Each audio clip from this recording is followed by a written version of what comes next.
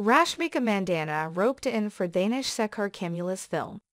Dhanush and Telugu filmmaker Sekhar Kammula are coming together for a film, which is tentatively titled D51.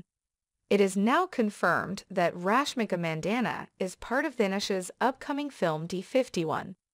The Pushpa actress, in a clip shared on social media, claimed that she is excited to be part of the film, which will be directed by Sekhar Kammula.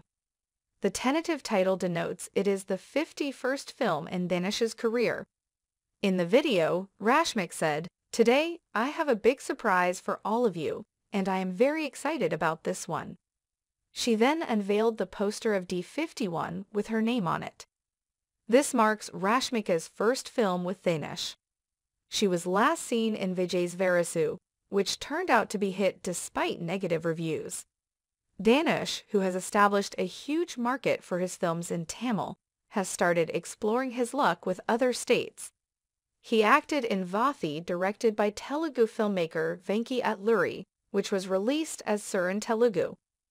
The film had a decent response in both states, but didn't turn out to be a blockbuster. D51 will also be released in Telugu and other major Indian languages. Meanwhile, Dhanush is awaiting the release of his next film Captain Miller, directed by Arun Matheshwaran of Rocky fame.